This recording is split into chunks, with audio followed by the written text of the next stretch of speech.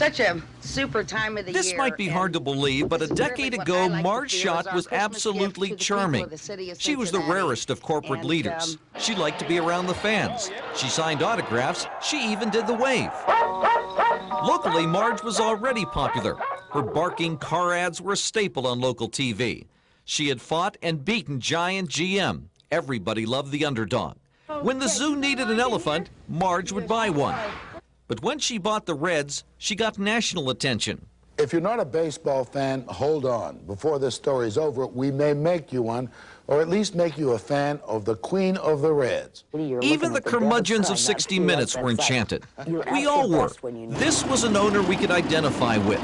Remember when she paid John Denny $400,000 and he got hurt and couldn't pitch? And I said, well, can he do yard work or what? You know, and they looked at me like I was crazy. I said, no, you just send him home. And I thought, this is nuts. She was saying what most fans would like to say. It made no difference what Miller, network, what show, what subject matter, Marge was in demand. She wasn't part of the Drabble Baseball Boys Club. She was different and fresh and charming.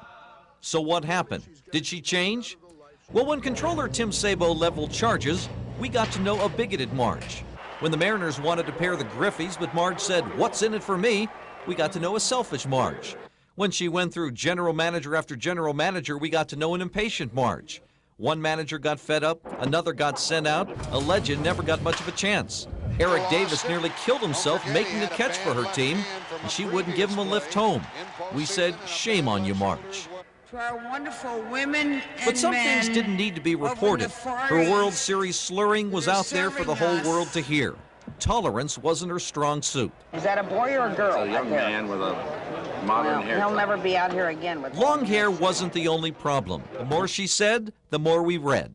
Hi, honey, The same things that made Marge a national celebrity the accessibility, the frankness, her affection for the cameras, eventually through TV and through print, had changed the way the world saw Marge. Maybe we got to know her too well. It seemed appropriate that red ribbons were placed on the Warren County Animal Shelter sign in Lebanon. They framed a message saying, Marge, we will miss you. She was rough on the outside, but she was very tender on the inside. She was she had a very soft heart. Marge quietly donated $25,000 to help expand the shelter. Workers today wore red armbands to express their sympathy. She loves animals. I mean, every animal that come by. Oh, honey, that dog is just darling. Be sure and spay and neuter your pets. And and she's just she loves every animal, dogs especially. Things seemed very quiet at Schott Buick in Norwood. The normally busy second floor office was empty. Workers went about their tasks, but had one united message. to, to send our condolences to the Schott family and the Unnewehr family, and to let them know that they're in our prayers. And uh, the employees uh, are mourning. Marge treated employees like family. Some have served for decades. She knew everyone's name and background. But she wanted to know what was going on if they, if they had a baby or whatever it may be. She wanted to know she was involved in their personal lives. General Sales Manager Mike Horvath has been there 24 years and will continue to run it in the future. But the biggest thing she wanted was the customers to be kept happy. Give them more than what they expected to get when they came here. Reminders of Marge Schott were all over town today. This sign outside St. Ursula Academy in East Walnut Hills. Her name on the All Saints Church Parish Center in Kenwood, plus the Boys and Girls Club facility in Covington.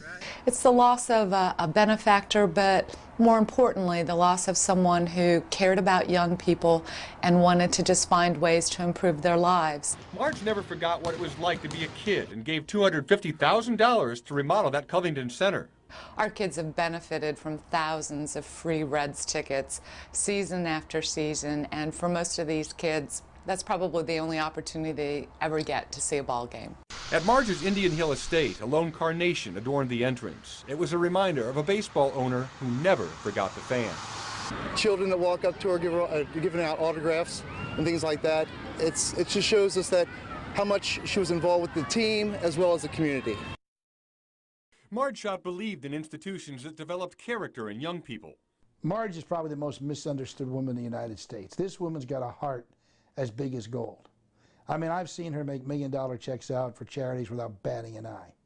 She has a true compassion. St. Ursula Academy was on Marge's charitable list.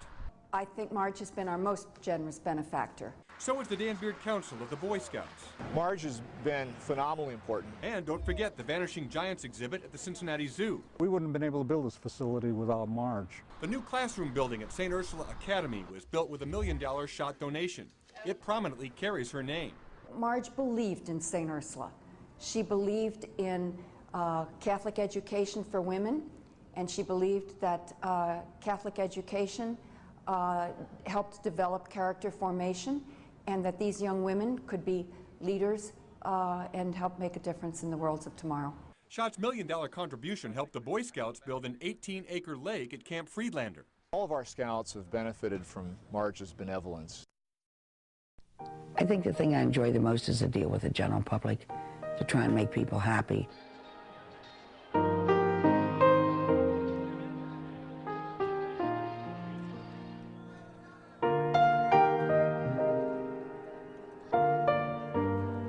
You don't have the fans and you don't have the public, you have nothing.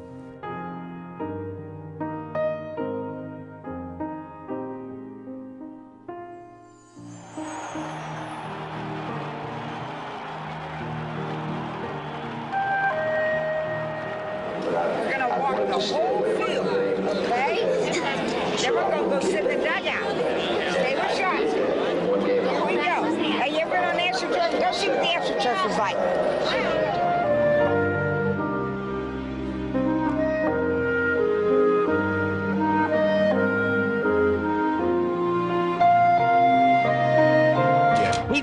behave. Oh, I behave. He's a I bad behave boy. all the time. I call his wife. But, you know, it's the everyday guy who's important. Yeah, You're important to them. I hope so, because that's that means a lot to me.